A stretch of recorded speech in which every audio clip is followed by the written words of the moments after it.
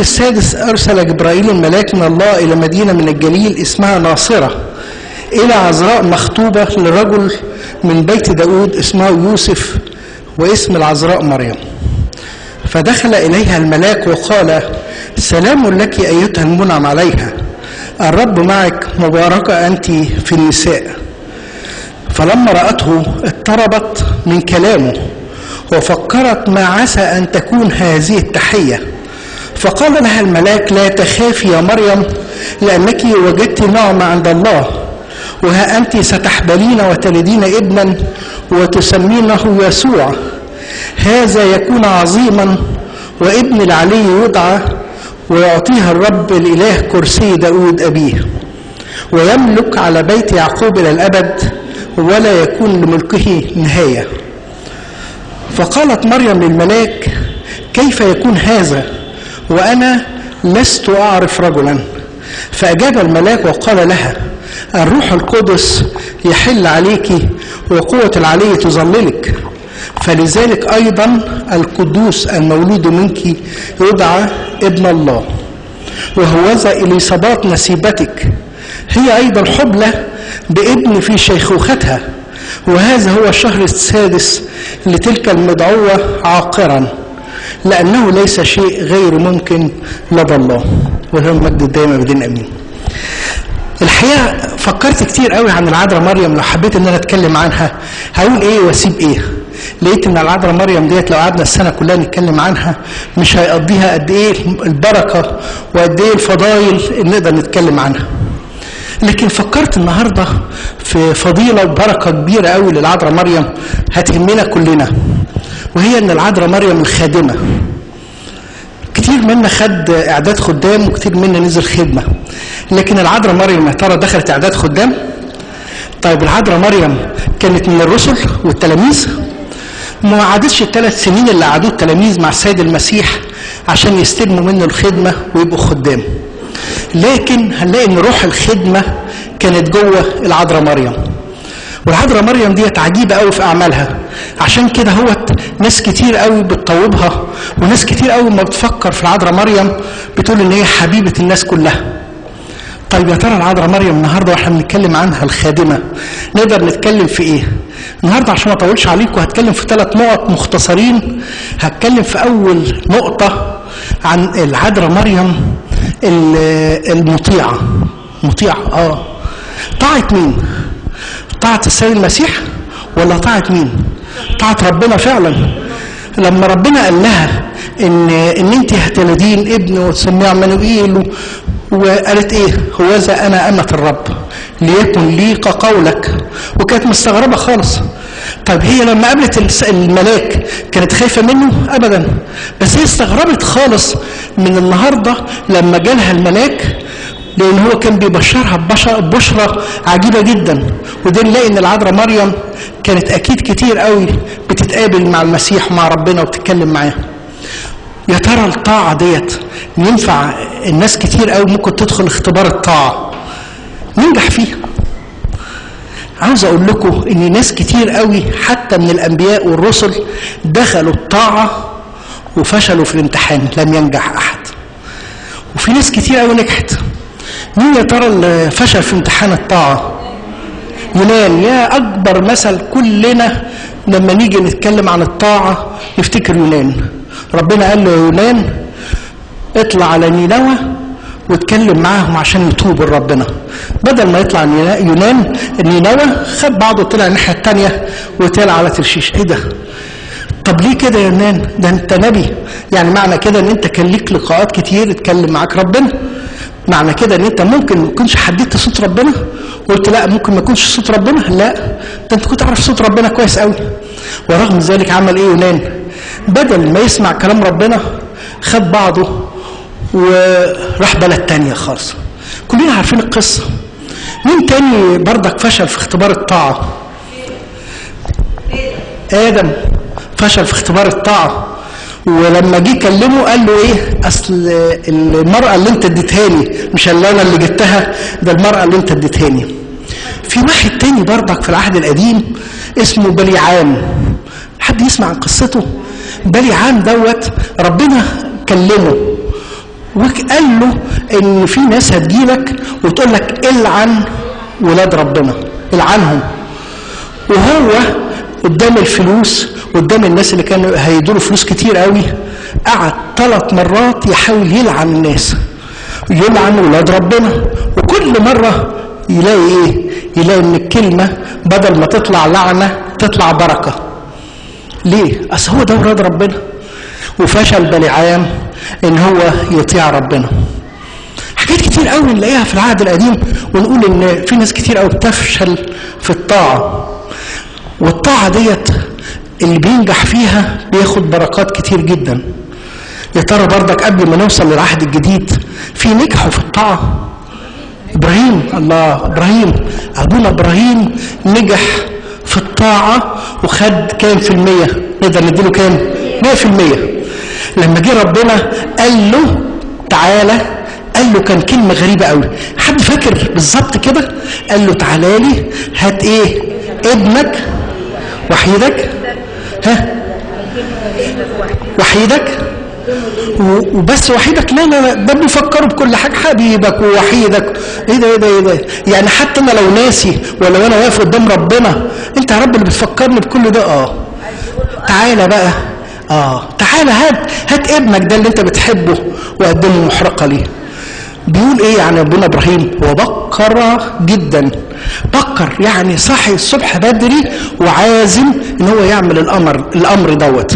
يا مبدأ الطاعة نجح فيه. نجح نجح. طب مين تاني نجح في مبدأ الطاعة؟ سيب بلدك وعشيرتك. أبونا إبراهيم ده نجح في حاجات كتير قوي عشان كده بنسميه إن أبونا إبراهيم ده إيه؟ خليل الله. يعني صاحب ربنا. حد تاني ممكن يكون نجح في مبدأ الطاعة؟ اتفضلي. اسماعيل اسماعيل نجح في مبدا الطاعة. طب إيه رأيكم في واحدة مش خادمة خالص وأرملة وما عندهاش إلا عيل صغير وكان في مجاعة. مجاعة؟ أيوه. ومجاعة بقى وجاء ايليا النبي ويروح يقول لها إيه؟ يقول لها عندك أكل. تقول له إيه؟ عندي شوية دقيق وشوية زيت. هعمل فطيرة ليا ولابني وأكلهم. وخلاص على كده. طيب ايليا بقى يرد عليها يقول لها إيه؟ طب أنا عاوز أقول لكم بالظبط اللي قاله ايليا عشان كلكم كده تشوفوا قد إيه ايليا بقى دخلها في تجربة غريبة قوي قال لها اعملي لي اولا وبعد لما اكل أنا بقى إيه؟ أخيرا اعملي ليكي ولابنك اولا وأخيرا.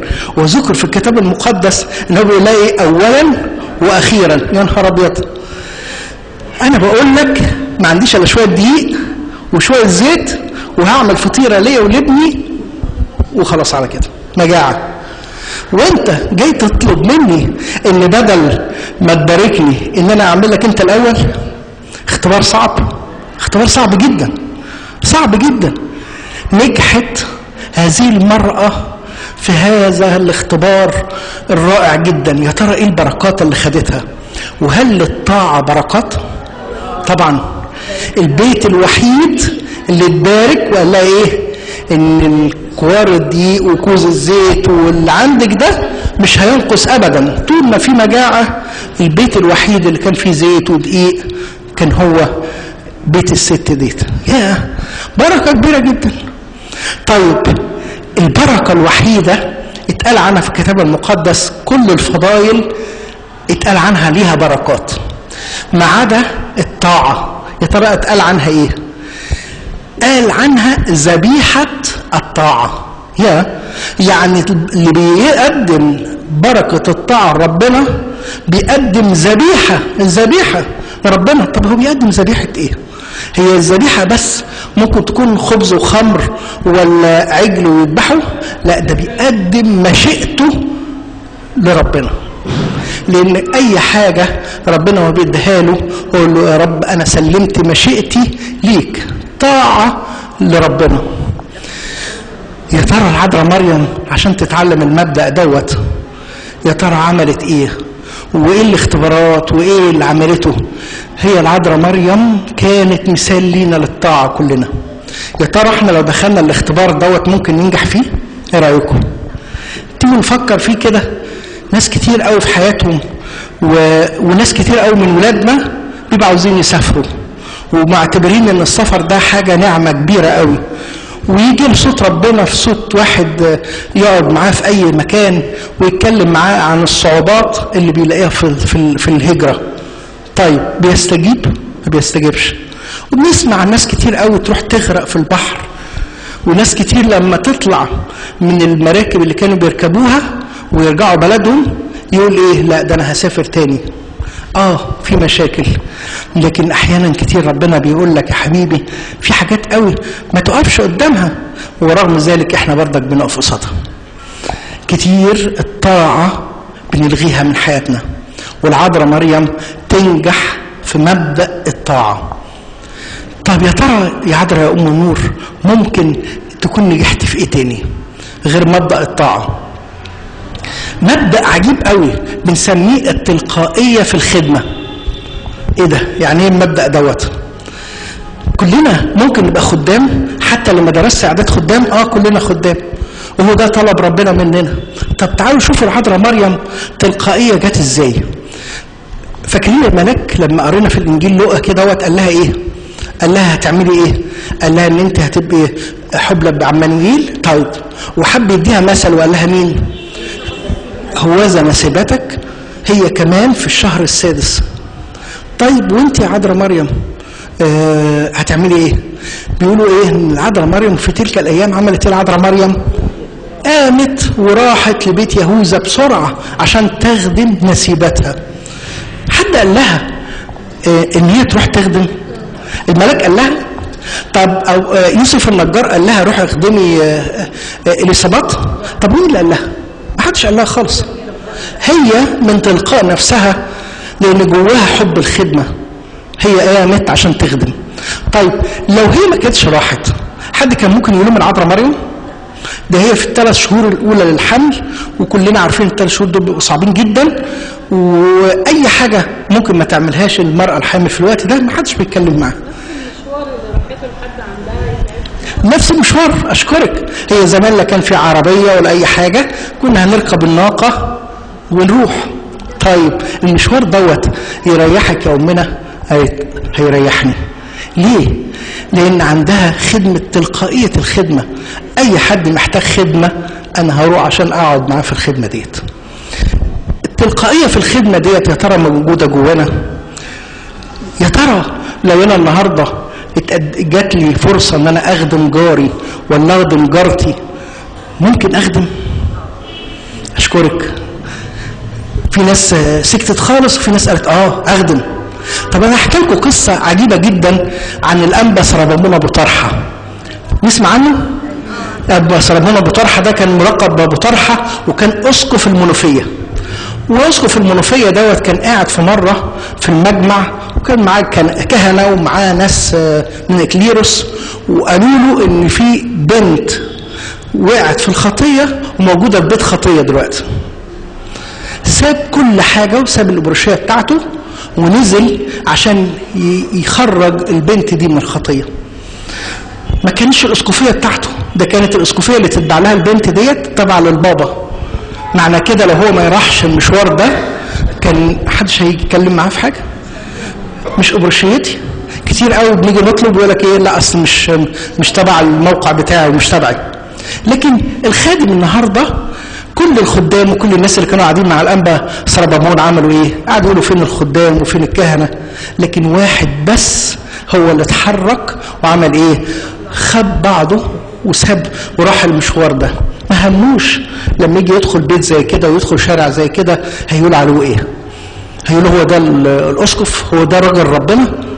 أيوه راجل ربنا يبقى تحت رجلين أي حد هو ده الخادم الحقيقي. كتير منا ممكن نبقى خدام؟ طيب إيه اللي نقدمه لربنا؟ طب اللي نقل الجبل المقطم كان ليه درجة أسقفية؟ ابدا. كان راجل بسيط خالص. وكان إسكافي يعني بتاع جزم. بس إحنا بنحاول نجمل الكلمة كده فنديها لقب نقول إسكافي. نيجي نسيب كل حاجة ونقولها باللغة العربية ونيجي عند الحتة ديت ونديها إيه؟ اللهجة العربية إسكافي. لا هو بتاع الجزم هو صانع جزم. ورغم ذلك لما جت الخدمة وتطلب منه كان بيعملها. كان بياخد القربة الصبح ويحط فيها مية ويطلع يوزع على الناس لأن ما كانش في حنفيات زمان. هي دي خدمة بسيطة. آه خدمة بسيطة. بس كان في عين ربنا شكلها إيه؟ خدمة كبيرة جدا. لدرجة لما حصلت المشكلة العذراء مريم قابلت البابا ابن إبراهام ابن زرعة وقالت له إن في بره على باب الكنيسة بره هتلاقي في راجل حامل جرة مية بصلواته هيتنقل الجبل. يا للدرجة دي؟ طب أنت عملت إيه؟ ده كان في ناس كتير قوي خدام في الوقت ده. كان في ناس كتير قوي. وربنا لا يترك نفسه بلا شاهد أو بلا كارثة. يخرج سمعان الخراز دوت ليكون شاهد للمسيح. طيب مين تاني عندنا ممكن يشهد بالتلقائية ديت؟ نعرف أبونا يوسف أسعد؟ أبونا يوسف أسعد ده شخصية عظيمة جدا. كان في الجيزة وأب كهنه جميل جدا. وقالوا له برضه إن في شارع الهرم في بنت مسيحية وبتشتغل هناك في شارع الهرم. ما كان منه إلا جري بالرغم إن في ناس كتير قوي كانوا عارفين سمعة البنت دي. لكن هو الوحيد اللي راح لها البيت. اتريقت عليه وضحكت عليه وقالوا أنت جاي لي ليه؟ وما سابهاش إلا لما جابها للمسيح. وبيقولوا إن يوم نياحتها وقت نياحتها لقوا إن في بخور طالع من الصندوق بتاعها. يا يعني ما حولهاش بس المرأة تائبة ده حولها لمرأة قديسة عظيمة. هو ده عمل الخادم العظيم. الخادم مش لازم يكون خادم بس في الكنيسة مش لازم يكون كاهن مش لازم يكون أسقف. الخادم هو خادم في أي وقت. نلت يا عذراء مريم كرامة كرامة. بنتكلم معاها ونتكلم ونقول يا سلام العذراء مريم. عملت حاجات كتير قوي ولها طلبات كتير لها الطاعة ولها التلقائية في الخدمة. يا ترى يا عذراء مريم نلت إيه فضائل تاني؟ نلت فضائل كتير قوي. يا رب كتير قوي لما نفكر فيها نقول قد إيه عظمة هذه المرأة اللي استحقت أن يولد منها السيد المسيح. طيب في كمان شخصية عجيبة قوي وكلنا نذكرها وأخيرا بيتقال في المجمع في صلاة المجمع أبونا بيذكره حبيب جرجس. تسمع عن حبيب جرجس؟ حبيب جرجس ده كان علماني ولا ليه رتبة كهنوتية ولا كان أسقف ولا مطران ولكن بصلوات هذا الشخص حبيب جرجس عمل حاجات كتير قوي. عمل مدارس الأحد ولما جه سيدنا البابا بيتكلمنا عن حبيب جرجس يقول إيه؟ أستاذنا حبيب جرجس. يا سيدنا بتتكلم عن حبيب جرجس؟ بتقول له أستاذنا آه أستاذنا. خد لقب أستاذنا؟ آه هو أستاذنا. هو استطاع إن هو ينشئ في مدارس الأحد وينشئ الوعظ اللي في وقت كانت الكنيسة الكنيسة كل اللي بيحصل فيها قداس. كان الناس تيجي تصلي القداس وتمشي. وحصل إن اللي في الوقت دوت كتير كتير من من الكنائس الأخرى بدأت تتسلل لمصر. وما كانش حد واقف قصادها. لكن لما بدأ الوعظ وبدأ ال ال النهضات الكنيسة اللي إحنا بنشوفها دلوقتي كانت بسبب هذا الشخص. بدأنا نعمل نهضات بدأنا نعمل آه مؤتمرات. حبيب جرجس هو أول من زرع مدارس الاحد جوه الكنيسة. طيب هو لقى الدنيا مفروشة كده والناس قالوا له يا سلام أهلا وسهلا. صدقوني أول ناس وقفوا ضده ممكن يكون رجال الاكليروس نفسه. وهو أنت جاي تعمل لنا إيه؟ لكن ببركات هذا الشخص العظيم حبيب جرجس أصبحت الكنيسة في نهضة روحية حتى يومنا هذا. مدينين, مدينين ليه الوعظ اللي إحنا بنتكلم فيه والاجتماعات بتاعتنا دي لحبيب جرجس. التلقائية في الخدمة. هو ما استناش ياخد من حد ويجي ويقول له أصل إحنا عاوز أروح بسرعة عشان أعمل مدارس أحد. لا هو صلى وطلب من ربنا وخدم ولاد ربنا.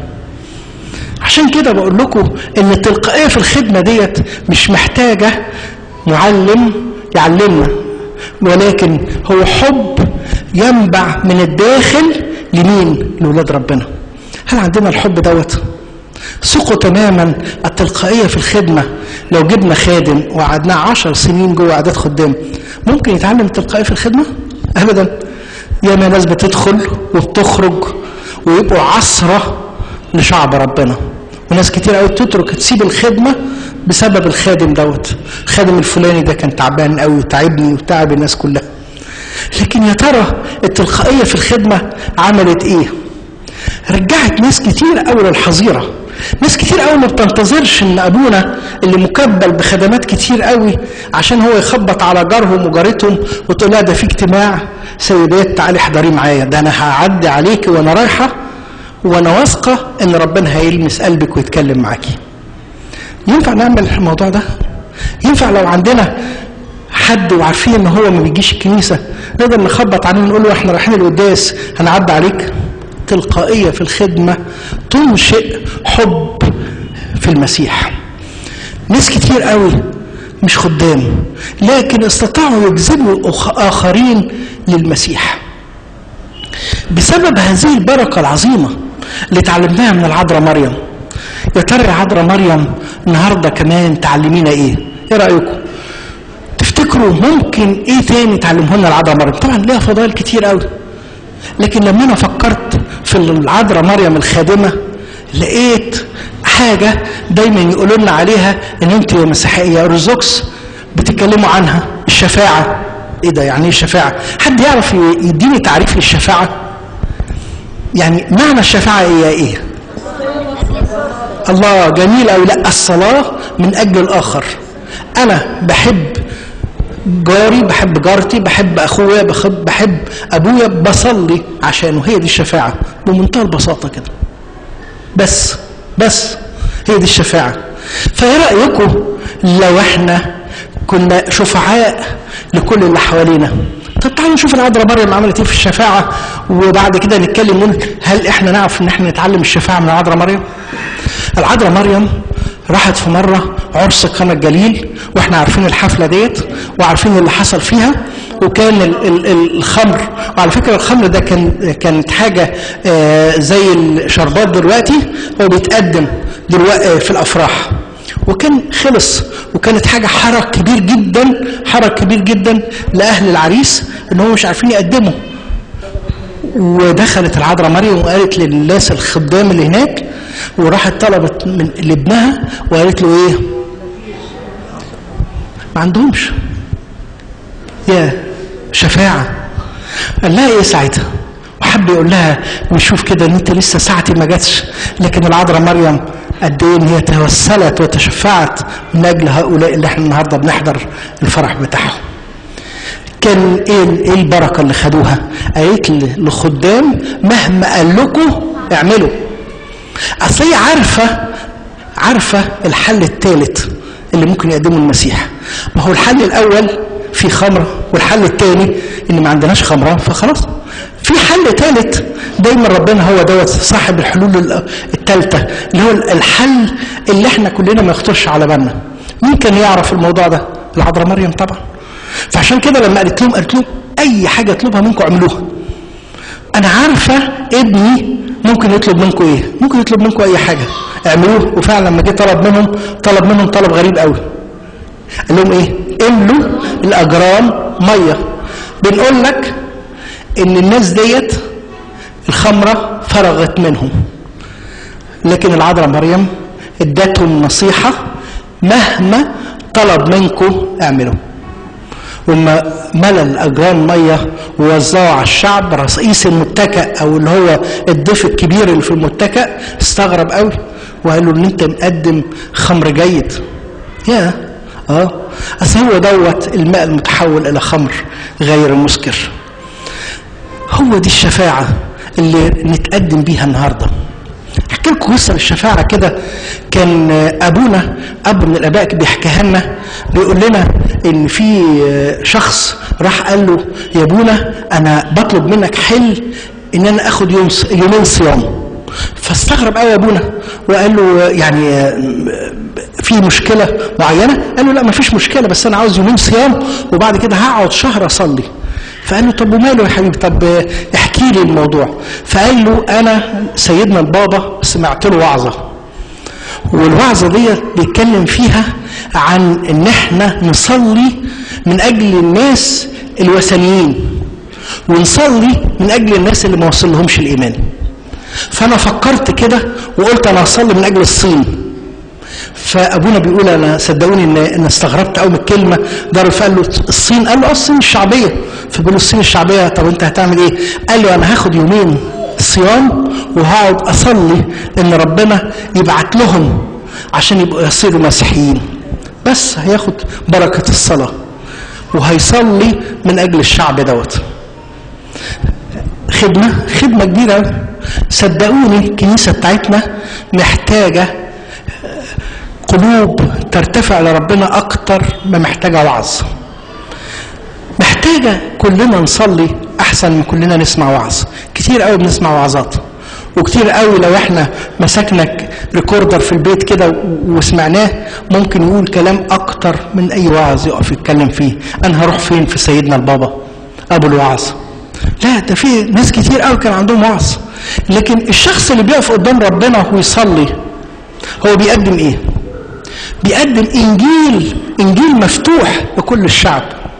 هو واقف يصلي وربنا بيسمع لكل دوت. فاكرين بولس الرسول؟ بولس الرسول ده كان عجيب قوي. بولس الرسول كان ياخدوه ويرموه في السجن وبعد كده يستغربوا قوي يلاقي كل الناس اللي في السجن هم كمان واقفين يصلوا من أجله. طب يا ترى لما بتدخل السجن بتقابل مين؟ بتقابل ناس رهبان وناس ذو قيمة كده في الكنيسة ابدا. ده أنا بقابل المحتقرين في العالم. وزمان كانت السجن معروف إن ليه سلسلة في الإيد وسلسلة في الرجل وبتتربط في آخر السجن عشان هو لما يجي يعدي في جوه السجن بتاعه يبقى ماشي في مساحة صغيرة قوي. يقف بولس الرسول يصلي ولما يجي يصلي يحصل إيه؟ بيقولوا إن وقف صلى وكل المساجين وقفوا يصلوا معاه ولما صلى الصلوة العجيبة ديت اهتزت أرجاء السجن. يعني إيه اهتزت؟ يعني كل السلاسل اللي في إيديهم وقعت. يعني إيه السلاسل اللي في إيديهم وقعت؟ يعني الأبواب كمان ساحت ووقعت والحديد كله كل الأبواب اتفتحت. بركة بقى. الناس بقى بابان اتفتحت هياخدوا بعضهم ويعملوا إيه؟ فرصة. بيقولوا إن رئيس الجند جه الصبح واستلى سيفه عشان يعمل إيه؟ يروح يموت بولس؟ هو مش شايف بولس هيموت نفسه. لأن دي محاكمة عسكرية. لكن تخيلوا بقى النهارده صوت بيجي له يقول له إيه؟ رد سيفك إلى غمده يعني المكان بتاع السيف. إحنا كلنا موجودين. قال له طب أنا وعارفك. أنت بولس؟ آه أنا عارفك طبعا.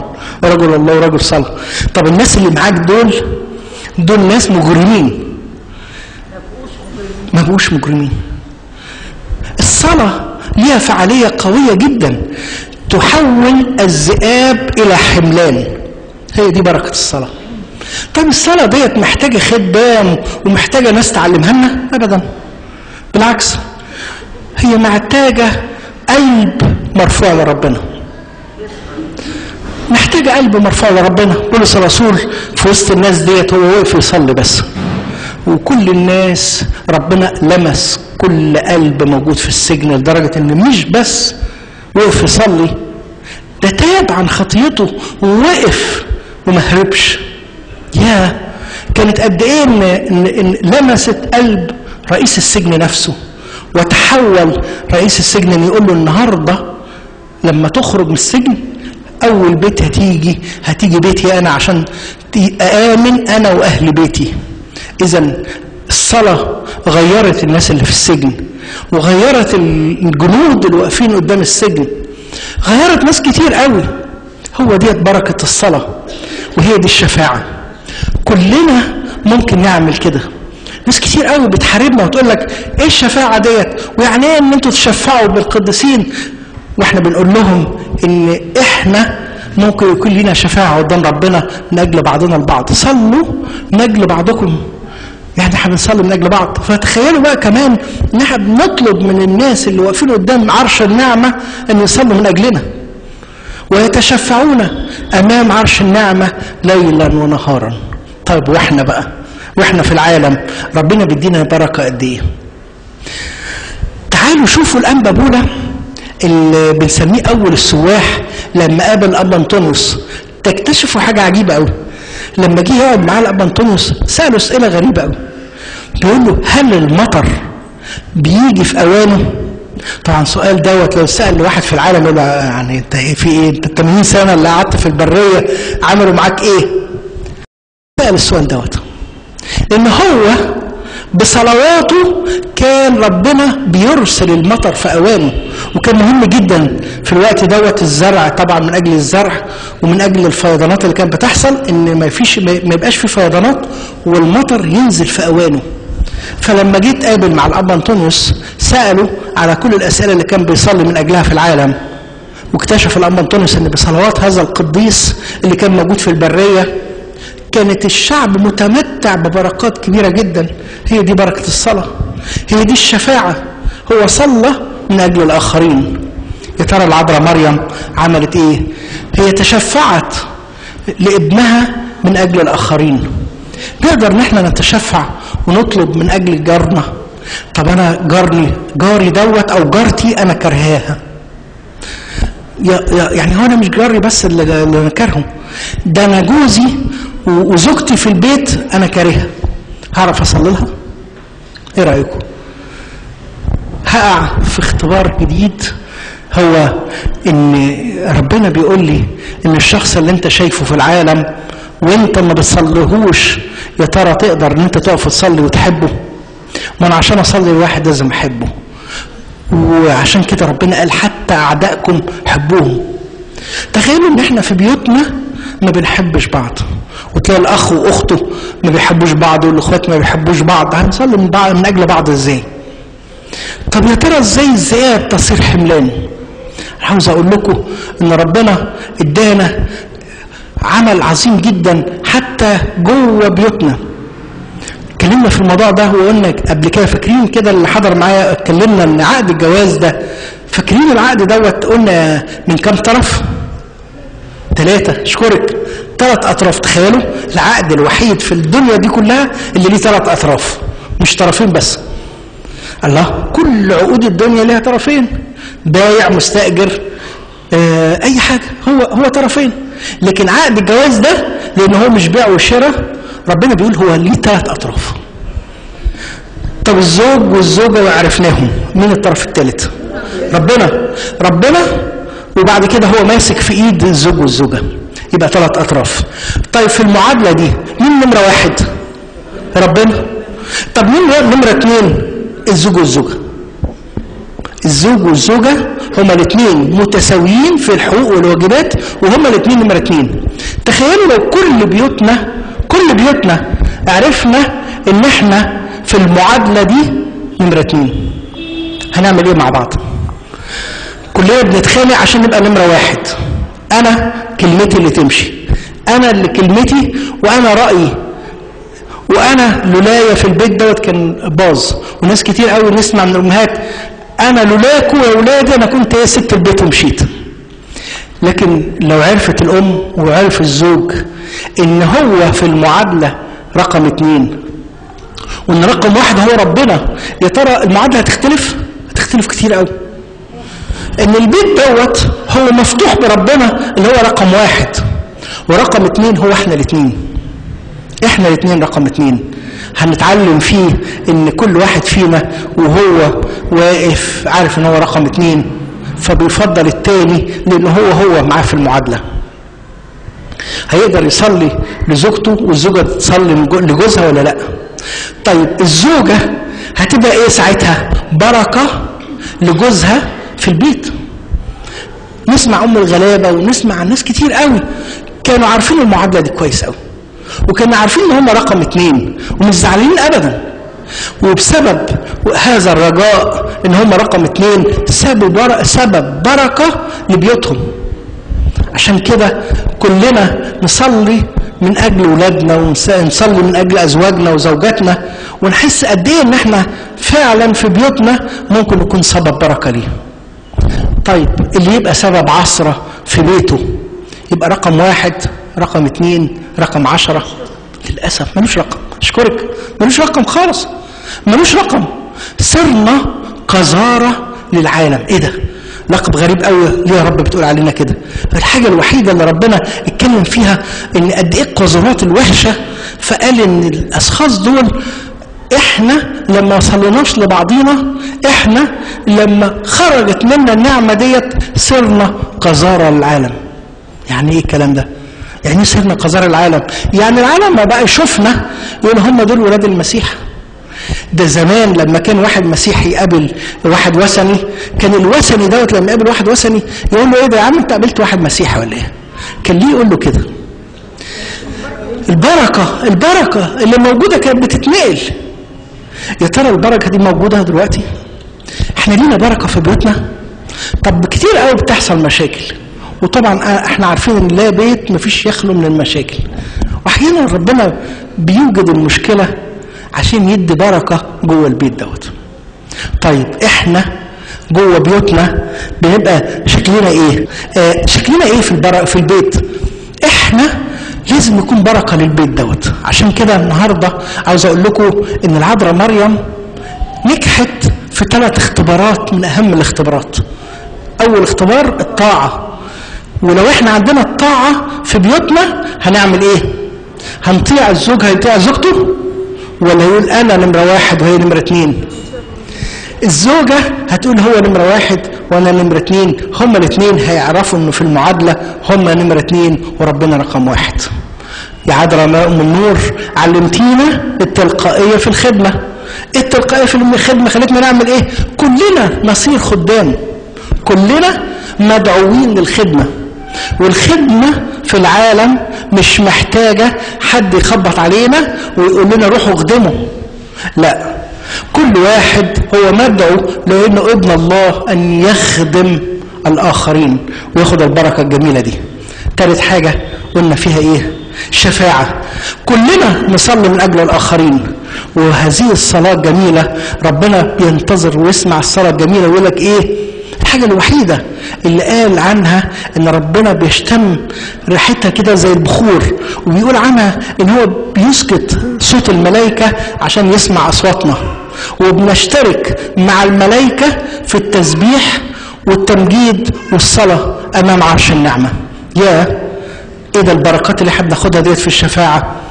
أي واحد بيقف يصلي من أجل الآخر بيعمل إيه؟ بيصير شريك. شريك لمين مين اللي بيقف قدام عرش النعمة يصلي؟ الملائكة. إذا إحنا بنصير كالملائكة أمام الله وأمام عرشه لما بنصلي. لو اتعلمنا فعلا هنحس إن إحنا فعلا مش محتاجة خادم مش محتاجة عدد خدام لكن محتاجين إن إحنا نقف قدام العذراء ونقول لها يا عذراء ام النور. نلتي بركة ونلتي شفاعة ونلتي بركات كتير قوي. وهو المجد الدائم ابدا امين أشكركم.